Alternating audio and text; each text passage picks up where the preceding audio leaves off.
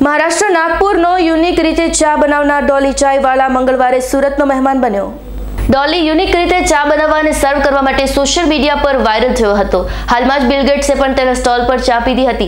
ડોલીની સુરત મુલાકાત દરમિયાન મીડિયા સાથે વાત કરી હતી. ડોલીએ જણાવ્યું હતું કે ધોરણ દસ પછી અભ્યાસ છોડ્યો હતો. છેલ્લા સોળ વર્ષોથી નાગપુરના સિવિલ લાઇન્સ પાસે ચાની દુકાન ચલાવું છું.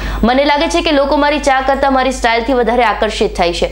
પર્વત પાટિયા ખાતે આવેલા મહાવીર મોબાઈલમાં ફોન લોન્ચિંગ ઇવેન્ટ માટે સુરત આવ્યા હતા.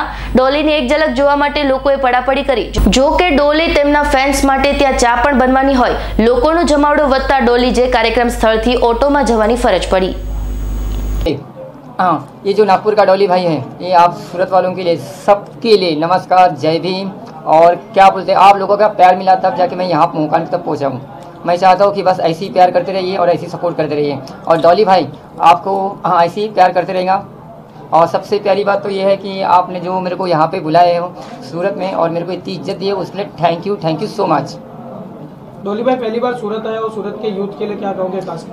देखो, मेरे को तो यहाँ पे आते पहले मेरे को पता चला है कि यहाँ पे कुछ लोग ड्रग्स वगैरह बहुत ज़्यादा ही चल रहा है बोलते तो मैं तो यही चाहूँगा कि देखो, है ना ड्रग्स बिल्कुल मत लीजिए, क्योंकि ड्रग्स लेके आप तो बर्बाद होंगे, साथ में आपके घर, परिवार वो भी बर्बाद होने वाला है। तो मैं चाहता हूँ कि ये झंझट में मत रहिए।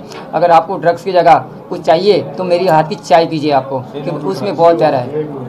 डोली में पहले की लाइफस्टाइल और अब की लाइफस्टाइल में कैसा क्या बदलाव आया? है आ, मेरे को तो पहले की लाइफ बहुत प्यारी लगती है और जो अभी की लाइफ है वो उससे भी प्यारी है। मेरे लिए तो दोनों काम अच्छे हैं क्योंकि मैं अपने शॉप पे रहता हूँ तो सबको अपने हाथों से चाय पिलाता हूँ और मेरे को बहुत अच्छा लगता है कि जो मैं मेहनत करता हूँ और जो मैं मेहनत से इतना आगे बढ़ा हूँ और ये आपके प्यार के और सपोर्ट की वजह से। डोली भाई आपके आप कैसे मैनेज करते हैं? मतलब इवेंट भी और चाय की आप वहाँ पे आपकी टपरी भी चली तो ये सवाल आपने बहुत अच्छा पूछे। बहुत ही अच्छा सवाल पूछे। इसके लिए तो मैं अपने बड़े भाई को सपोर्ट करता हूँ। क्योंकि जब मैं इधर आता हूँ या कोई बाहर कंट्री चले जाता हूँ तो मेरे बड़े भैया सुबह मॉर्निंग छः बजे से लेकर तो रात के नौ बजे तक हैंडल करते हैं अकेले। और मैं मज़ाक नहीं करता हूँ आपको सच बताता हूँ कि जो मेरा भाई बड़ा भाई है शैलेश भैया वो मेरे लिए भगवान है। डोली भाई आज के यूथ में ऐसा है कि भाई एक वीडियो डाल दी और रातों रात उनको वायरल होना होता है और आपने इतने समय के बाद शायद आपने सोचा भी नहीं था ऐसा कभी कुछ होगा। तो उसके लिए क्या कहोगे? मेरे को तो कैसा है जैसे सोशल मीडिया बोलते हैं ना? मैं तो अपनी लाइफ में चाय के बेचने में बहुत ज़्यादा यूनिक था और बहुत ज़्यादा खुश था। अभी फिर मेरा छोटा भाई शशांक उन्होंने बोले कि डॉली चलो ट्राई करके देखते हैं। है ना इंस्टाग्राम फेसबुक यूट्यूब तो हमने भी ट्राई करके देखे और आप लोगों ने इतना प्यार दिया और इतना सपोर्ट किया हो तो देखो मैं आज ये मुकाम में पहुँचा उसके लिए थैंक यू सो मच जो आप लोगों ने मेरे को इतना प्यार दिया। डोली भाई आपसे सुनने में आया था बिग बॉस के लिए भी आपको कुछ ऑफ़र आया था पर आपने शायद नहीं गए हाँ बिल्कुल बिल्कुल। पर ये जानकारी मेरे को ज़्यादा नहीं थी क्योंकि हमारे ये जो राहुल जी हैं और हमारे छोटे भाई शशांक हैं ज़्यादा करके तो हैंडल वही करते हैं। क्योंकि मैं सबसे पहले प्यारा काम तो ये करता हूँ कि मैं जब अपनी शॉप पर जाता हूँ तो सबसे पहले अपने हाथों से लोगों को चाय पिलाता हूँ। क्योंकि मेरे को उसमें चाय पिलाने में बहुत ज़्यादा मज़ा आता है। और आगे जाके भी? चाय पी हाँ बिल्कुल। डोली भाई इस तरीके से फ़ेमस होने के बाद पहली बार आपके घर के परिवार के किसी सदस्य का क्या रिएक्शन था सबसे पहली बार? आ, सबसे पहले तो हाँ मैं मम्मी से है ना ज़्यादा देर दूर नहीं रहता हूँ। मैं अभी सबसे पहली बार मैं दस दिन का टूर लिया था दुबई का। छोटे मियाँ बड़े मियाँ जब वालों ने बुलाए थे। और आप यकीन नहीं करोगे पाँच दिन में मेरे को मज़ाक नहीं करता मम्मी से दूर रहना बोले तो बिल्कुल पसंद नहीं है मेरे को। आप आप ही बताइए कि मैं है ना बिग बॉस में जाऊँगा भी तीन महीने के लिए तो रह पाऊँगा क्या? नहीं रह पाऊँगा। दस दिन हाँ दस दिन में दूर नहीं रहता मम्मी से। तो है ना वहाँ पे तो तीन महीने का था इसलिए मैंने डायरेक्ट बोल दिया नहीं जाना है।